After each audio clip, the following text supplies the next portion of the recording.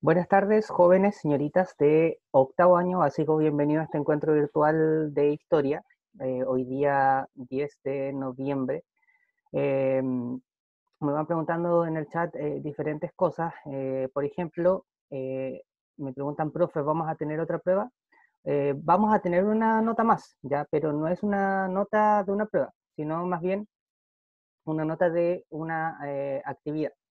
Que en este caso, bueno, lo, creo que ya lo he comentado, lo he trabajado o, se los mencioné, pero va a ser la realización de una infografía, pero obviamente sobre un tema diferente, que en este caso es lo que hemos estado trabajando en los últimos encuentros virtuales.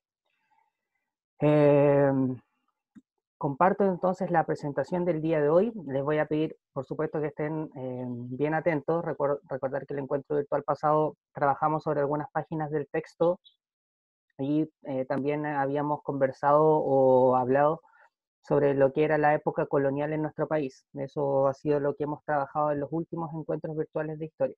Hoy día, como pueden observar, nos vamos a enfocar eh, esencialmente en lo que es la independencia de Chile. Yo creo que esto es un tema que más de alguna vez ustedes eh, han escuchado, de hecho en teoría lo debieron haber trabajado aproximadamente el sexto básico, así que espero que recuerden alguna de, de las cosas eh, relacionada a este tema. Eh, en el encuentro pasado y cuando hablábamos del comienzo de la etapa de la independencia, dijimos que previo a eso habían cosas que habían ocurrido, ¿ya? En este caso, cosas que habían ocurrido que entendíamos como factores internos y factores externos. Bien, entonces, por ejemplo, hablamos de la importancia de la ilustración, de la importancia de la Revolución Francesa, de la independencia de Estados Unidos, porque sirvieron como modelo o como ejemplo para las eh, otras independencias. ¿Se acuerdan que eso lo mencionamos o lo trabajamos? Em, y también eh, mencionamos que habían algunos eh, factores internos, o sea, cosas que están ocurriendo dentro de Chile que generaron el descontento y que después obviamente significaron en definitiva la em, independencia de nuestro país. ¿Cuál es el aprendizaje esperado o nuestro objetivo de aprendizaje del día de hoy? Comprender las principales características del proceso de independencia y además identificar algunos personajes, instituciones y logro de las distintas etapas del de, proceso llamado independencia nacional. Para comenzar, una pregunta muy sencilla es ¿qué conocen ustedes de este proceso o qué recuerdan ustedes de este proceso llamado independencia? Si recuerdan algún nombre eh, o recuerdan algún hecho, eh, esa es la pregunta. A ver, en el chat tengo una respuesta. Bien, por ahí me dan, por ejemplo, un nombre que lo asocian obviamente a, mm, a este proceso José Miguel Carrera. Muy bien. Eh, ¿Algún otro nombre, alguna otra idea respecto a, este, a esta etapa que recuerden? Hagan un poquito de memoria que cuando hablaron de la independencia cuando ustedes han visto algo sobre la independencia, ¿qué cosas podrían destacar?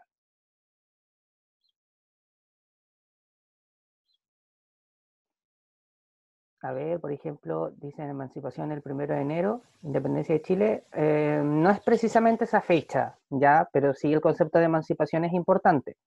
Eh, a ver, por ejemplo, también León dice por acá, la primera junta de gobierno. Bien, excelente. Esa es una de, las, de las cosas tal vez que más se nombran cuando hablamos de esta etapa. Eh, a ver, Samantha dice, creo que recuerdo en ese entonces habían dos grupos de la sociedad, los que estaban a favor y eran conservadores y los que querían la independencia de Chile. Sí, muy bien. Excelente, excelente eh, comentario y acotación, Samantha. Entonces podríamos hablar eh, eh, grupos,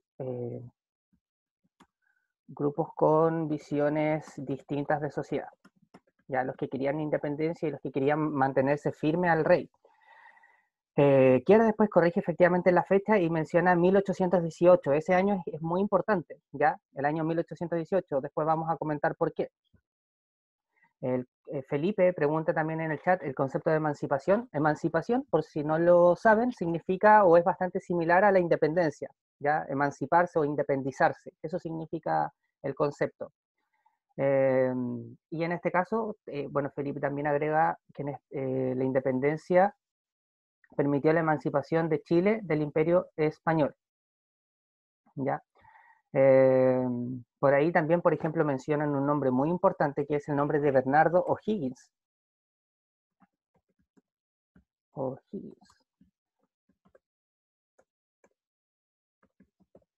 ¿Ya? Ese nombre obviamente es uno de los más reconocidos.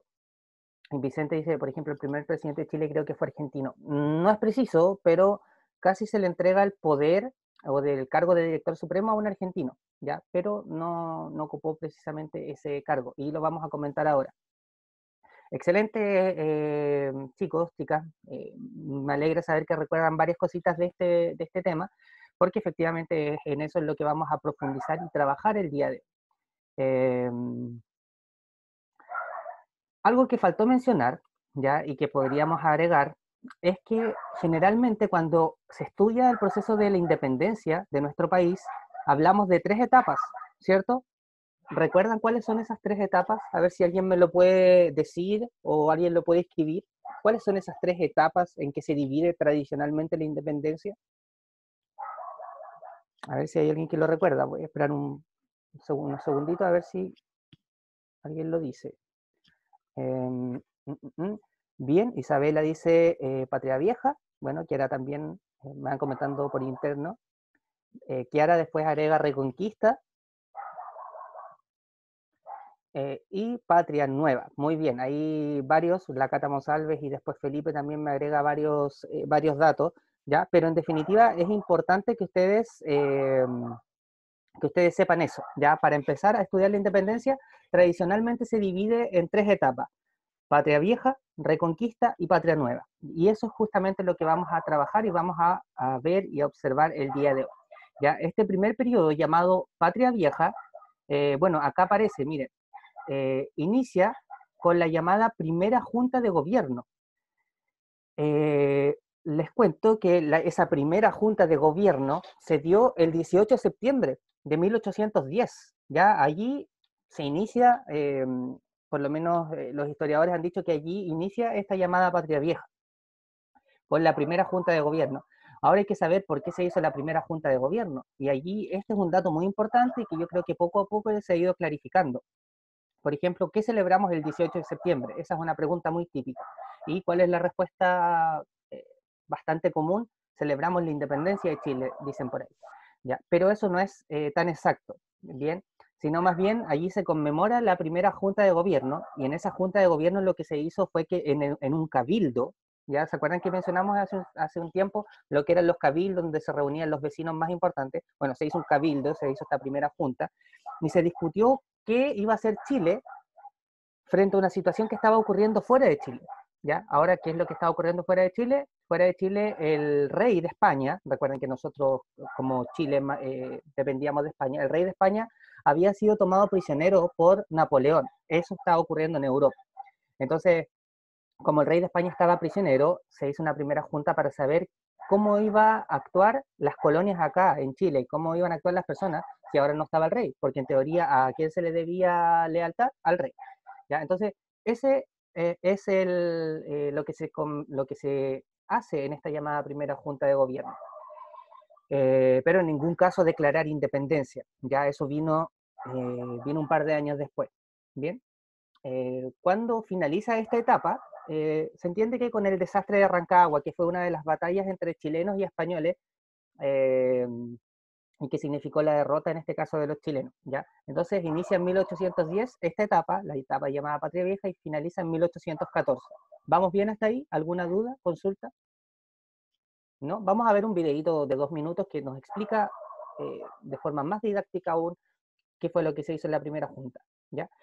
Ahora, eh, ¿qué fue en, ¿cuál fue en general la posición en la primera junta de gobierno? Recuerden que habían, les, acabo de comentar que se discutía si se mantenía lealtad o no al rey. Bueno, la mayoría se mantuvo fiel al rey Fernando VII, ¿ya? Por eso les decía que en ningún caso en esta, en esta etapa se declara independencia, ¿ya? Sino que la mayoría se mantiene fiel y leal al rey Fernando VII. Em, pero sin embargo, aunque se mantienen o se declaran como fieles o leales, comienzan a eh, realizar acciones que, em, que eran de, carácter más eh, independiente, o sea, no, no, tenían necesariamente la aprobación del rey. Y es que allí comienzan a realizarse una serie de obras que ya vamos a ver. Pero em, vamos a ver entonces el... Entre paréntesis, discúlpenme, eh, afuera hay harto ruido, salió mi perrita y está ladrando, no sé si ustedes lo escuchan, entre paréntesis, ojalá que no. pero em, eso, vamos a ver este videíto de dos minutos que nos explica entonces eh, qué fue lo que se hizo en este proceso llamada eh, primera junta de gobierno. ¿ya? Así que eh, observemos y escuchemos con, con atención.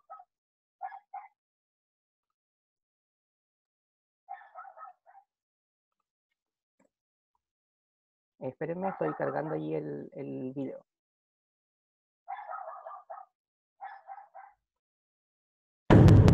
Los sucesos desencadenados tras la ocupación napoleónica de España provocaron una crisis política entre criollos y peninsulares.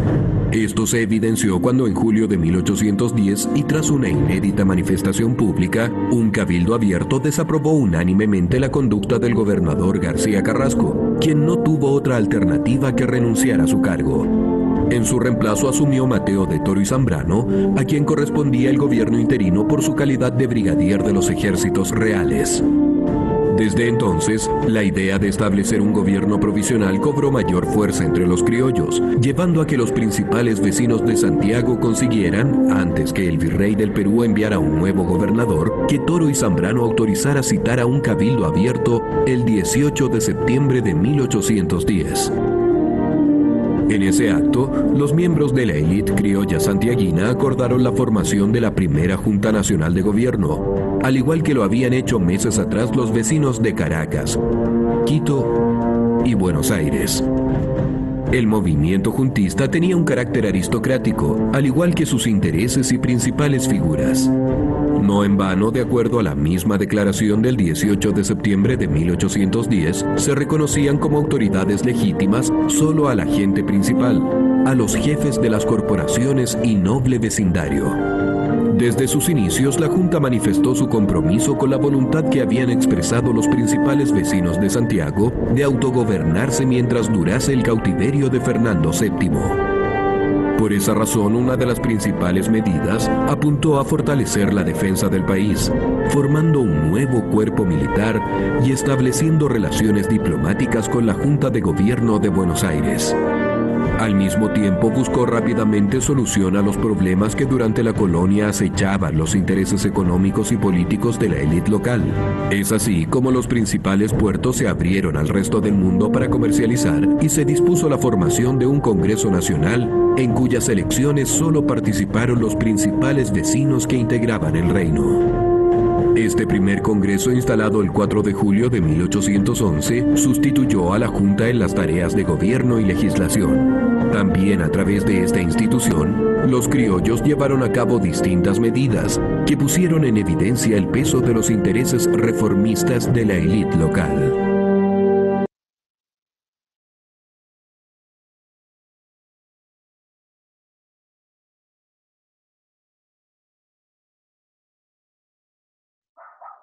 Eh, bien, entonces allí creo que se explicaba de forma bastante, de forma bastante sencilla, de forma bastante clara, cuál fue el objetivo de la primera junta, ¿ya? Y como mencionábamos hace un instante, en definitiva allí no se declara independencia, sino más bien que eh, se iban a autogobernar mientras el rey esté prisionero. Esas son palabras sencillas.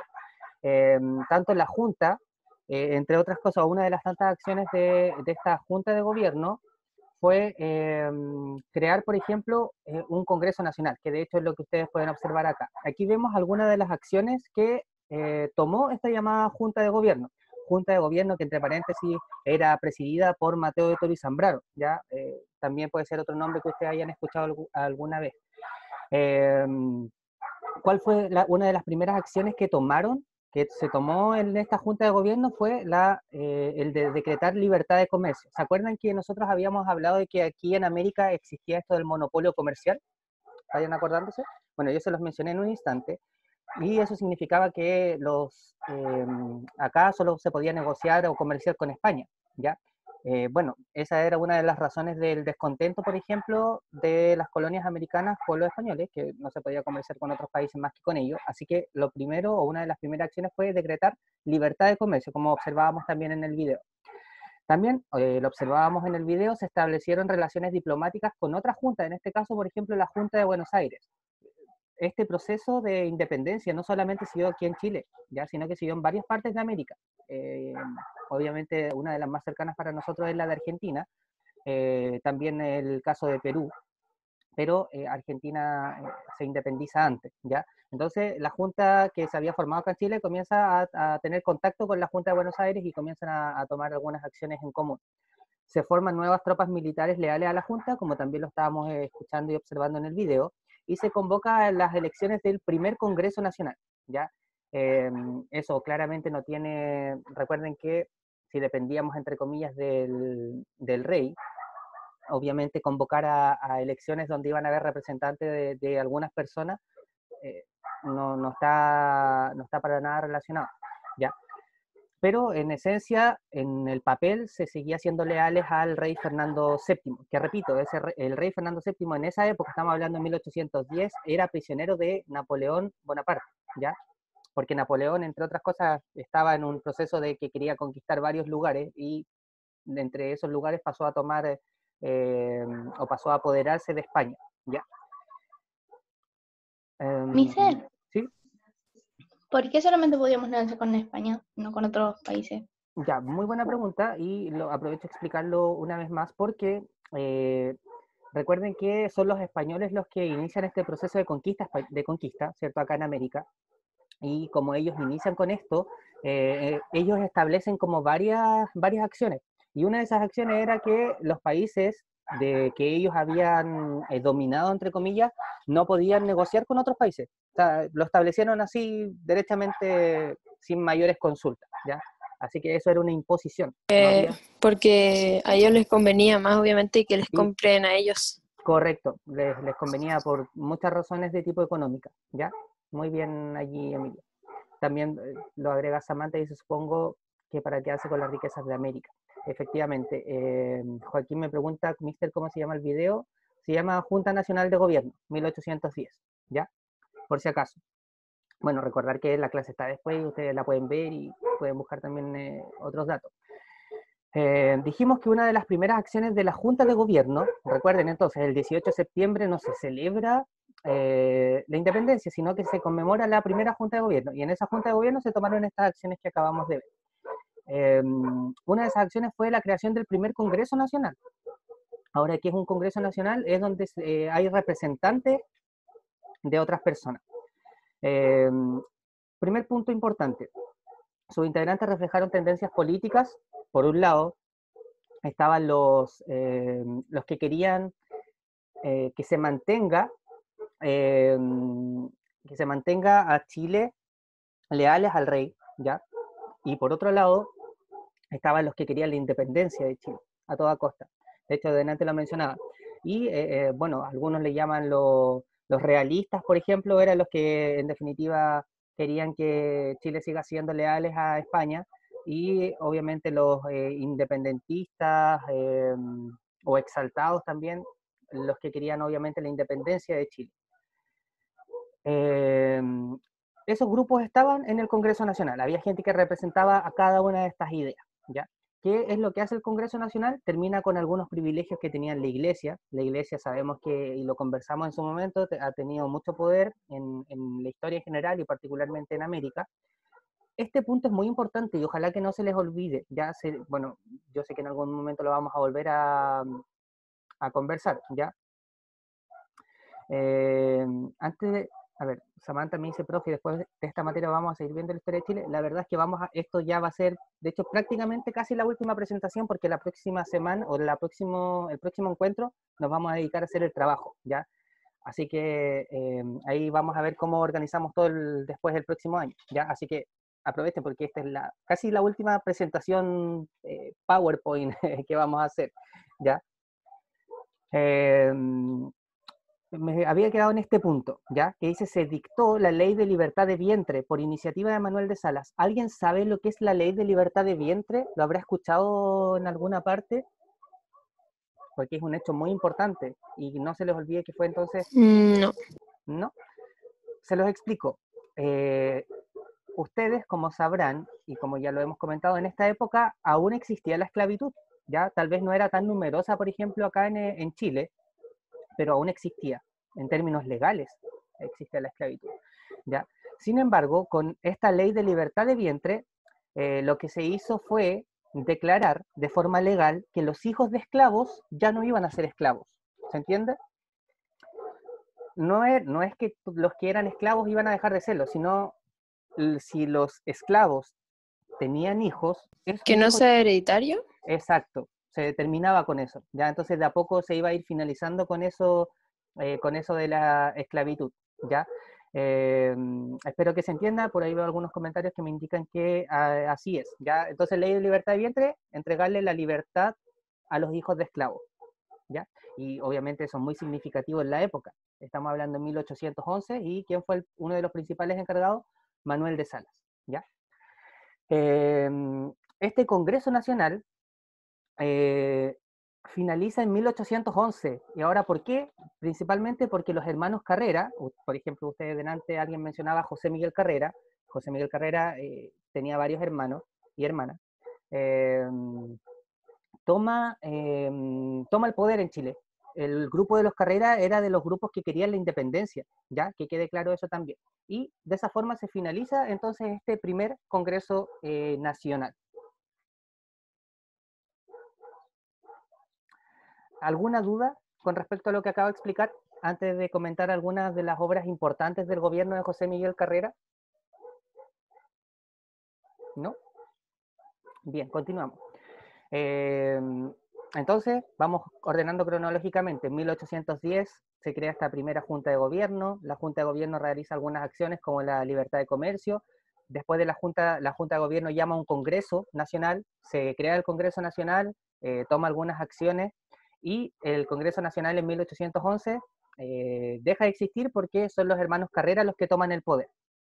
Y ahora veamos en 1811 qué es lo que ocurre.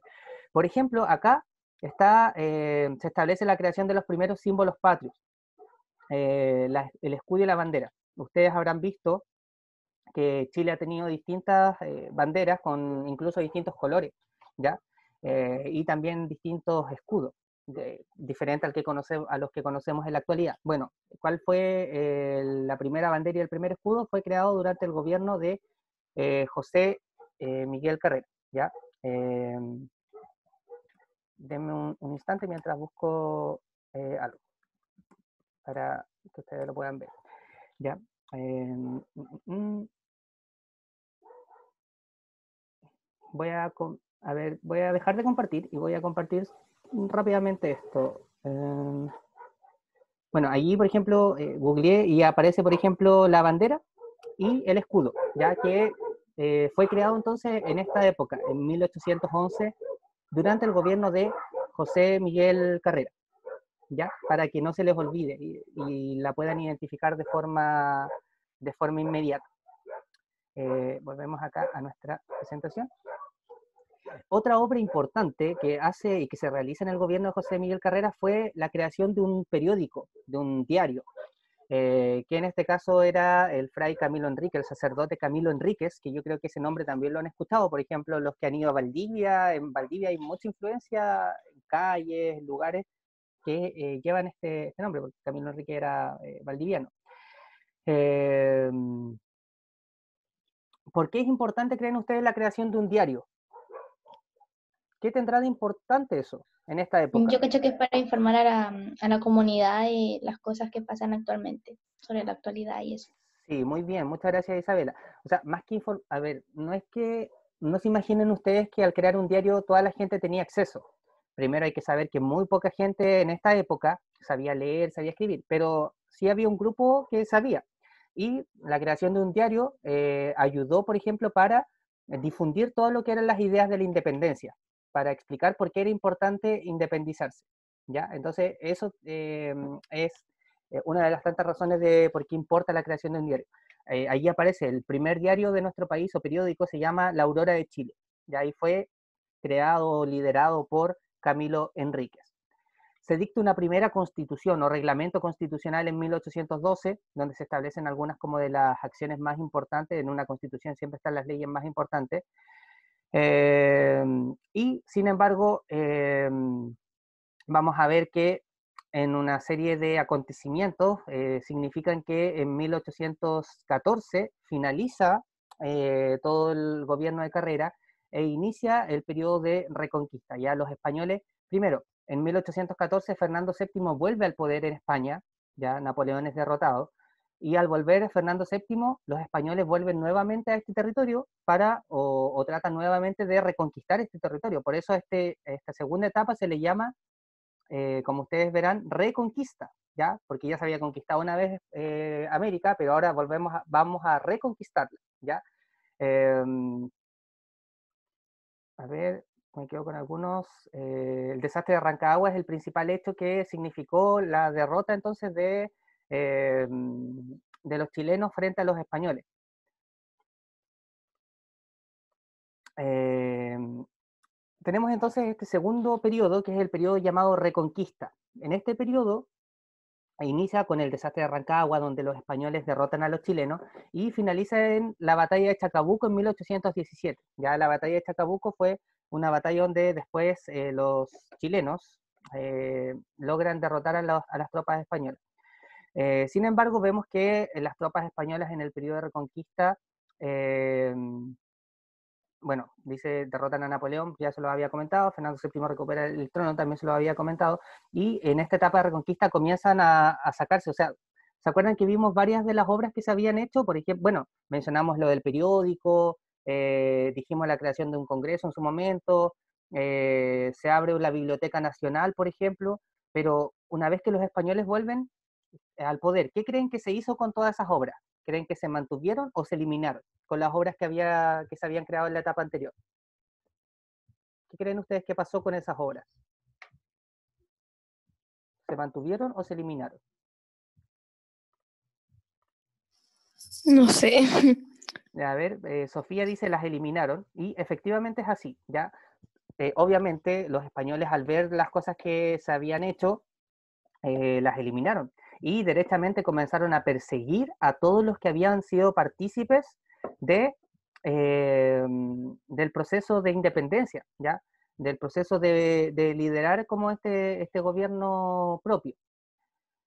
Em, bueno, aquí aparece, se abolieron, abolir es eliminar todas las obras y medidas dictadas por los criollos, se restauraron las instituciones coloniales eh, o sea, nada de Congreso Nacional, se volvieron a las instituciones coloniales que ya existían eh, y se realizaron persecuciones a los patriotas y confiscaron sus bienes. Como les dije, los patriotas eran obviamente los que querían la independencia y una vez que los españoles en, este periodo de reconquista, que va desde 1814 a 1817, tomaron el poder de nuevo, comenzaron a perseguir a toda la gente que había apoyado eh, estos movimientos. Algunos gobernadores de la época, Mariano Osorio, Casimiro Marco del Pont, simplemente algunos nombres para que ustedes tengan noción de aquello. Em, ¿Qué significó en definitiva todo este proceso de reconquista, más allá de algunas cosas bien puntuales? Es que la gente que, se, acuerdan que en un principio cuando se forman la primera junta dijimos que habían varios que como que no estaban convencidos y que creían que había que seguir siendo fiel al rey de España? Bueno, una vez que pasa el proceso de reconquista o que ocurre el periodo de reconquista, ven la crueldad de los españoles y deciden en definitiva que había que apoyar la independencia y que no se podía seguir eh, viviendo de esa, de esa forma. ¿Ya? Eh, entre paréntesis, en este periodo, eh, los chilenos, habían chilenos en distintas partes. Ya por un lado estaban los mismos Carrera, estaba Manuel Rodríguez, que es otro personaje que seguramente ustedes también han escuchado, que estaba eh, dentro de este grupo de los llamados patriotas. Hay varias historias sobre, sobre Manuel Rodríguez que ojalá en algún momento podamos conversar. ¿ya? Eh, estaban, eh, mientras los españoles iban haciendo todo esto, ellos estaban organizándose para poder, obviamente, tomar nuevamente el poder en, en Chile. Y en febrero de 1817 se da esta batalla de Chacabuco y lo que permite en definitiva que los españoles sean derrotados. A ver, eh, Samantha dice, el poder de España sobre Chile era algo así como una dictadura, porque no se toleraba a la gente que pensaba distinto o no estaba de acuerdo con esto. Efectivamente, era una, dictadura, podríamos decirlo, eh, con alguna diferencia, pero eh, se acerca bastante a eso porque no se permitía, o sea, si, si había un grupo que quería independizarse, obviamente iban a sufrir consecuencias bastante, bastante graves. Esa es la segunda etapa, conocida como reconquista alguna duda o consulta de alguno de los hechos que ya hemos mencionado, de, alguno, de alguna de las etapas que hemos trabajado? ¿Alguna duda o consulta? o si no, vamos con la tercera etapa. Eh, ¿Mister? ¿Sí? ¿Mister? Eh, yo no tengo duda, pero después de, de, que termine la clase, ¿puede pasar por todas las diapositivas para sacarle foto y después escribirlas? Eh, ya, ok, no hay problema. Gracias. No hay problema. Eh, bien, parece que no hay dudas, entonces vamos con la tercera etapa, ¿ya? Hemos hablado eh, periodo de Patria Vieja desde 1810 a 1814, periodo de Reconquista desde 1814 a 1817, y periodo de Patria Nueva lo, se entiende generalmente desde 1817 hasta 1823, ¿ya? Eh, inicia el periodo de Patria Nueva con la batalla de Chacabuco, donde ganan los chilenos, y finaliza este periodo con la renuncia de Bernardo O'Higgins, ¿ya? Eh, ¿Qué es lo que ocurre en este periodo de Patria Nueva? Se consolida la independencia, o sea, se logra ya definitivamente la independencia de Chile por sobre los españoles. Se dan las últimas batallas entre los españoles y los llamados patriotas o chilenos, y aquí Bernardo Higgins asume el mando con el cargo de director supremo. Ya, ojo, no es presidente, que quede claro eso también, em, porque se tiende a confundir. O'Higgins es el primer, primer presidente, dicen por ahí, pero no. O'Higgins o Bernardo Higgins asume el cargo de director supremo, que es como el presidente, pero en términos legales no era presidente, ¿ya? Em, y de hecho, este, este cargo de director supremo se lo habían ofrecido primero a San Martín, que es un argentino, y que fue un argentino que ayudó a la independencia de nuestro país. Bien, pero eh, San Martín no, no, acepta este cargo y eh, es Bernardo Higgins quien asume el cargo de director supremo. ¿ya? Aquí también aparece obviamente la batalla de Maipú, que es otro, una de las batallas más importantes donde eh, se derrota también a los, a los españoles. Em, y ahí está el famoso abrazo de Maipú, que es entre Bernardo Higgins y José de San Martín, que como les comento es un eh, argentino. Entonces, en este periodo de Patria Nueva, vimos que se inicia entonces ya la, Chile como casi como país independiente, entre comillas, porque aún se van dando algunas batallas, pero vemos que asume eh, Bernardo Higgins como director supremo. Veamos cuáles son algunas de las obras importantes de O'Higgins. Primero, en este periodo se da la declaración formal de independencia. De hecho, eh, se entiende, o para algunos, la independencia inicia, eh, el 12 de febrero de 1818. Esa es la fecha eh, para muchos de la independencia, 12 de febrero de 1818, no el 18 de septiembre, sino el 12 de febrero, ya porque allí se entiende que es la fecha donde realmente se logra consolidar la independencia de Chile. Eh, esa es una de las obras de Bernardo Higgins. Segunda eh, aspecto o punto importante es el, financiamiento de la Escuadra Libertadora del Perú. ¿Qué, ¿Qué, será esto? Se preguntarán ustedes. La Escuadra Libertadora del Perú eh, era una fuerza armada que se, mm, que se hizo para liberar a Perú de los españoles. Chile logra, entre comillas, su independencia, pero Perú todavía seguía siendo dominado por los españoles. Entonces, ¿qué es lo que se hace? Se forma un grupo militar con chilenos, con argentinos, para liberar a Perú. Por eso, Escuadra Libertadora del Perú.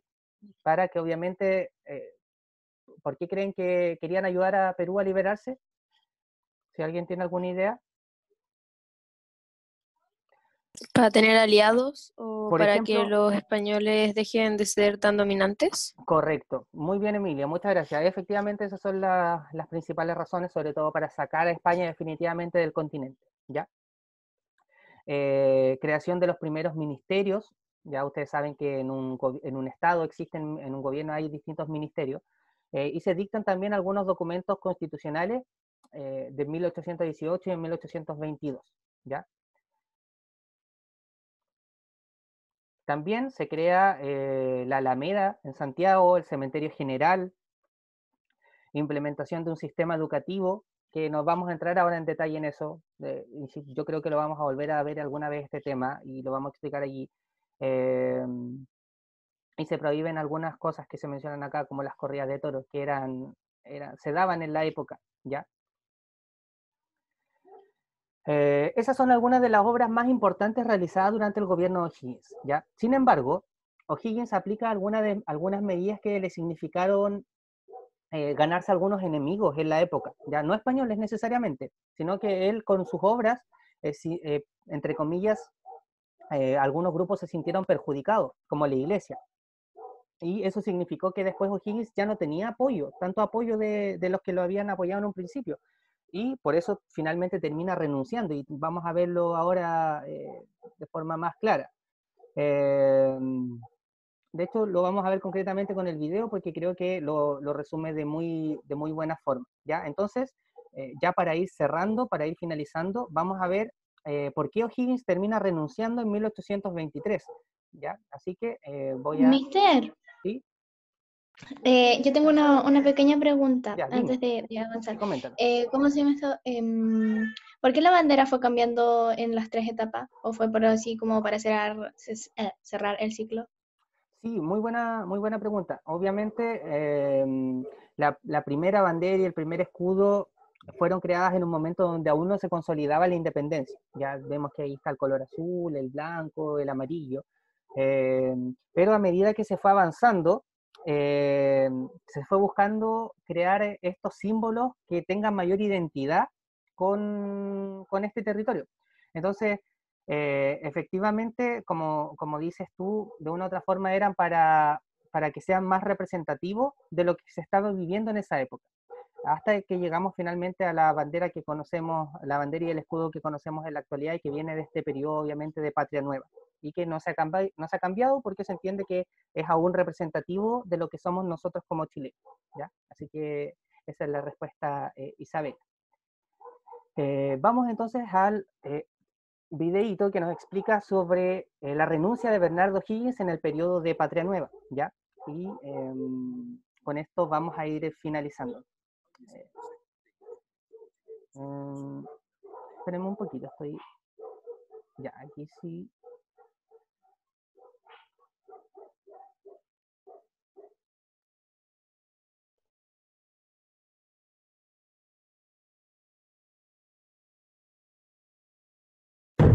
Aunque siempre se ha creído que el Estado chileno se organizó rápidamente, lo cierto es que esta materia fue objeto de acalorados debates durante la década de 1820. Estas discrepancias se originaron desde muy temprano y afectaron al primer gobierno republicano chileno, el de Bernardo O'Higgins, entre 1818 y 1823. A O'Higgins y a sus colaboradores les correspondió la tarea de organizar el Estado y la administración pública. En esta labor el gobierno enfrentó conflictos con la élite, especialmente en lo concerniente al derecho de cada provincia para tomar sus decisiones a través de sus cabildos. Esto provocaría una tensión entre el gobierno central y las élites de Concepción, Coquimbo y Santiago, que terminaría con la abdicación del director supremo en 1823. Las causas de los conflictos fueron en la designación de cargos públicos. Los integrantes de los cabildos reclamaron la negación del derecho a elegir alcaldes, regidores, intendentes y gobernadores provinciales en circunstancias que la Constitución de 1818, promulgada por el propio gobierno, lo mandaba el desconocimiento del poder político de los cabildos. Durante su administración, O'Higgins buscó reducir los ayuntamientos a simples ejecutores de las decisiones del Estado central, desconociendo las prácticas a las que tradicionalmente la aristocracia hispano-criolla estaba acostumbrada desde la colonia. Abolición de títulos y símbolos nobiliarios. Se prohibió a las familias aristocráticas el uso de símbolos que recordasen las jerarquías del pasado colonial. Creación de una nueva distinción, la Legión del Mérito, dirigida a militares destacados, lo que acentuó la molestia de la élite despojada de títulos nobiliarios. Los empréstitos onerosos y origen de la deuda externa. Los gastos de la expedición libertadora del Perú fueron suplidos con préstamos ingleses, lo que se tradujo en un aumento de impuestos. Inestabilidad política y económica provocada por una guerra interminable. La mantención de la guerra en el centro sur generó dificultades económicas al naciente Estado que se encontraba prácticamente quebrado. Rechazo a medidas anticlericales. Las medidas tomadas contra eclesiásticos, el uso de algunos conventos como cuarteles y la creación de cementerios para no católicos despertó el rechazo en la inmensa mayoría católica del país. Su pertenencia a la logia lautarina las reuniones secretas de esta asociación provocaban desconfianza al interior de las élites dirigentes. Al mismo tiempo, el apego de O'Higgins a las ideas ilustradas lo llevó a adoptar medidas destinadas a civilizar al pueblo bárbaro. Se propuso educar al mundo popular y controlar sus prácticas cotidianas a fin de que este sector social abandonara aquellas costumbres o vicios considerados poco civilizados.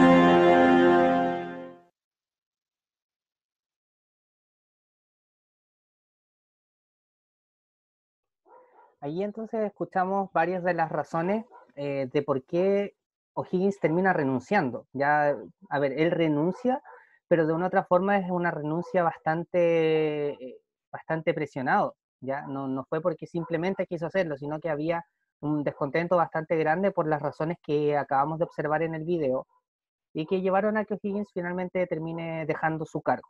Bien, y de esa forma se finaliza el llamado periodo de eh, de Patria Nueva. Entonces, hemos visto hoy día eh, las tres etapas. Eh, por mientras voy hablando, voy a ir avanzando con, con las diapos, ya que me lo estaban pidiendo por ahí, para que si alguien quiere sacarle foto pantallazo. Pero, en resumen, entonces, hablamos sobre independencia de Chile, donde comentamos que hubieron hechos externos como internos que significaron la independencia de nuestro país aparecen algunos personajes importantes, em, como también dijimos que habían tres etapas importantes en este periodo, Patria Vieja, Reconquista y Patria Nueva. Patria Vieja, 1810 a 1814. En este periodo tenemos la primera junta de gobierno, que se discutía si ser leales o no al rey. En esta época de Patria Vieja tenemos el primer Congreso Nacional y también en esta época surge o aparece de forma eh, dictatorial el gobierno de José Miguel Carrera, que ellos querían la independencia de Chile a toda costa. Entre algunas de sus acciones más importantes del gobierno José Miguel Carrera fue la elaboración de un periódico, la creación de la Biblioteca Nacional. Em, ellos traen la imprenta obviamente a, Chile.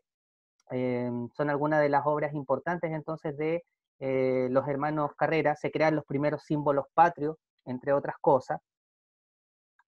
Em, en el periodo del primer Congreso Nacional, no olviden, se crea la ley de libertad de vientre por Manuel de Salas, que significaba que los hijos de esclavos ya no iban a ser esclavos. Después tenemos el proceso de reconquista, una vez que el rey español vuelve a su poder, eh, los españoles vuelven, entre comillas, al, ataque en contra de los americanos y de Chile eh, y toman el poder. Ya en el desastre de Arrancagua derrotan a los chilenos y eh, nuevamente se hacen con el poder. Em, persiguen sobre todo a los que habían apoyado el, proceso de independencia. Y entre otras cosas significó que los que antes estaban como eh, indecisos, ahora sí se decidieron a apoyar definitivamente la independencia porque vieron que los españoles habían sido bastante eh, crueles en el trato hacia eh, los, los, que habían apoyado la independencia. Después, la batalla de Chacabuco significó la derrota para los españoles y nuevamente los chilenos, entre comillas, toman el poder. Aquí aparece el nombre de Bernardo Higgins porque él es el que asume el cargo de director supremo y eso significó que realizó alguna de las, algunas obras o varias obras bien importantes como las que mencionamos, eh, creación de la Escuadra Libertadora del Perú, em, la creación de, la Alameda, el Cementerio General, em, entre otras cosas. Sin embargo, a partir de todas estas obras que se fueron tomando, mucha gente se sintió descontenta con O'Higgins y por lo mismo Higgins en 1823 terminó renunciando a su cargo y de esa forma se da fin a la llamada eh, época de Patria Nueva. Bien, eh, bueno, les acabo de hacer un resumen en, dos minutos de todo lo que hablamos y ya en general la había resumido bastante porque son muchas cosas que, que en otro instante hablaremos. Me gustaría saber si hay alguna duda o consulta estamos pasaditos con el tiempo, pero me gustaría saber eh, aquello, si hay alguna duda o consulta de lo que hablamos en la clase o está todo claro, si me pueden comentar, por favor. Ya sea con su micrófono o escribiéndome en el chat. Todo claro. Gracias, Emilia. Los demás, no sé si está todo claro o quieren preguntar eh, algo. Ahí, eh, bueno, veo... Claro, mister. Bien, muchas gracias. Y ahí ya, ya recibió más respuesta. Eh, Kiara me hace una pregunta, pero eh, Kiara, en otro momento, cuando tengamos más tiempo, te la puedo responder, pero es una, una pregunta muy complicada. Ya y por lo mismo creo que eh, cuesta un poquito responderla en, este tiempo, ¿ya? Samantha me dice, Mister, ¿conoce algún libro que trate principalmente de esto? O sea, es que más que el libro, yo te diría algunos autores. Si buscas, por ejemplo, Gabriel Salazar, bueno, hay un, historiador de apellido eh, Villalobos que escribe en harto sobre el periodo de independencia, ¿ya? Eh, para que busque ahí algunos autores, eh, Samantha. bien, chicos, miren, la próxima clase y el próximo encuentro, por favor, vengan todos, porque en el próximo encuentro vamos a tener la clase para hacer el último trabajo, que va a ser la infografía, ¿ya? En, al principio... ¿Lo vamos a hacer en la clase, profe, o va a, mandar, va a decir que hacer? No, lo vamos a hacer en la clase, ¿ya? por eso es importante que estén en la clase, porque al principio vamos a explicar y vamos a, vamos a recordar, al tiro Isabela, vamos a recordar eh, cómo se hace la infografía y yo les voy a decir que era una infografía que tenga estos datos, ¿ya? Eh, Isabela, ahora sí. No sé si me iba a preguntar algo. Eh, ¿Va a ser así individual o...? Miren, voy a dar la opción de, si quieren trabajar en pareja, lo pueden hacer, ¿ya? Em, pareja yo creo que va a ser individual o en pareja, ahí depende de cada uno, ¿ya? Pero eso lo, decidimos en la próxima clase, pero sí, lo más probable es que sea individual o en pareja. Si ya saben con quién van a trabajar, excelente, no hay problema. Em, ¿Soy yo la layada, profe, o es Isabela? Creo que es Isabela, porque igual escuché, me ha cortado. De hecho, pensé que podía ser yo en un instante, pero no. Em, Kiara dice, profe, por el mismo programa de Canva, sí, vamos a utilizar Canva. O sea, si quieren utilizar otro programa, lo pueden hacer, pero ustedes vieron que Canva les permite crear varias cosas eh, bien didácticas y bien llamativas. Así que tengan su cuenta lista para la próxima clase, eh, su cuenta de Canva para comenzar a trabajar en ese encuentro. Repito, aquí volvemos a tener clase hasta el, eh, a ver, les digo al tiro, hasta el 24, y en esa clase del 24 vamos a hacer vamos a ocupar toda la clase para hacer la infografía, ¿ya? Así que, em, para que vengan preparados. Bien, no habiendo más dudas, más consultas, damos por finalizado nuestro encuentro virtual. Recuerden que esto se va a subir a YouTube, por si quieren verlo nuevamente. Así que eso, chiquillos, que estén muy bien y que tengan una muy buena tarde. Cuídense y adiós. Chao, mister. Chao.